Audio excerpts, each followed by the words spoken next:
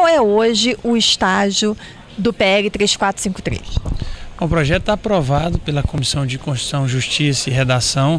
Ele tem caráter conclusivo, portanto não há necessidade de se é, votar no plenário, porém existe a possibilidade de um recurso. É, o prazo para esse recurso é até a próxima quinta-feira, dia 24. É, nós iremos aguardar isso. Se não houver o recurso, já automaticamente irá para o Senado deliberar.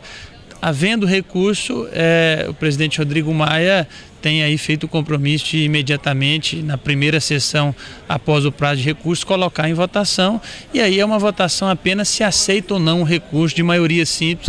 E nós temos aí a plena convicção de que nós iremos rejeitar, porque é um projeto já maduro, debatido durante mais de um ano em duas comissões temáticas e uma comissão de constitucionalidade e pronto para caminhar para o Senado, porque é um setor que a gente entende que precisa ter uma celeridade em relação a essa mudança do, do marco regulatório para poder avançar e estimular os investimentos no nosso país. Esse recurso então não permite mexer no texto que foi aprovado. É só para ficar só para entender, mesmo que se consigam as assinaturas para que se vá, para que se leve o projeto ao plenário, o texto do PL 3453 não poderá ser modificado. O recurso ele não vai alterar em nada o projeto.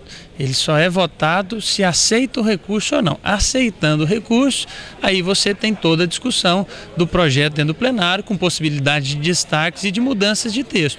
Mas nós estamos bastante confiantes, é, temos conversado com muitos parlamentares, com as lideranças do partido, o governo está muito engajado.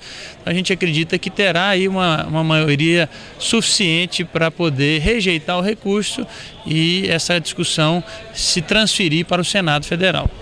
As operadoras, as mais otimistas, colocam que se o projeto andar efetivamente, ele só estaria aprovado, tornado lei no segundo semestre de 2017. O senhor tem uma visão diferente. O senhor acha que é possível votar ainda este ano? É, o recesso legislativo não está muito próximo, não há temas que, que impeçam. O senhor diria que o, o presidente do Senado está envolvido, o Senado quer votar isso em regime de urgência? Sim, nós já estamos antecipando um pouco esse trabalho do Senado. Eu já estive pessoalmente com o presidente Renan, fazendo um resumo do projeto e mostrando para ele a importância dessa alteração para um setor estratégico, para um setor importante da nossa economia nacional. Ele captou isso, ele tem um, um, projeto da Agenda Brasil que eu acho que esse nosso projeto é extremamente pertinente para compor essa agenda Brasil. Posteriormente a isso, o ministro Kassab, junto com vários representantes do setor, estiveram também com o presidente Renan, dizendo a ele da necessidade, da urgência da aprovação desse projeto, e ele se comprometeu. É, e ele, inclusive, se comprometeu dizendo que é, provavelmente colocará em votação ainda esse ano no Senado. O Senado tem uma tramitação mais célere do que a Câmara.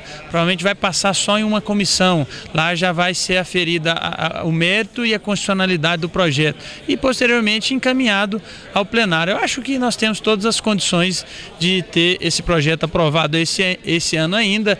Eu tenho visto declarações do presidente Renan de que quer estabelecer uma extensa pauta é, de projetos esse ano ainda, é, projetos importantes que possam contribuir com o reaquecimento da economia do Brasil. O senhor deixou aqui no painel Telebrasil colocado que o senhor fez questão de tirar o FUST, a discussão de FUST e FUSTEL do 3453. Por quê?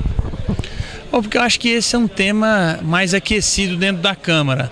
É, às vezes os parlamentares não têm tanto conhecimento da, da parte técnica da nossa LGT, mas têm conhecimento em relação ao FUST e o FISTEL. E acho que isso é, vai se tornar mais natural e mais necessário após essas mudanças propostas no PL 3453. Então acho que a gente precisa avançar nesse sentido com essas alterações que estão sendo propostas, especialmente a mudança, a permissão para poder migrar de concessão para autorização, a questão da reversibilidade dos bens bens e outros, outras mudanças de estímulos ao investimento e posteriormente a gente avançar em relação às alterações necessárias para alcançar eficiência através dos fundos. O senhor diria então que o senhor também colocou, o senhor acha que a melhor saída para tratar de fusto e fistel, aprovado o PL 3453, é, seria por medida provisória?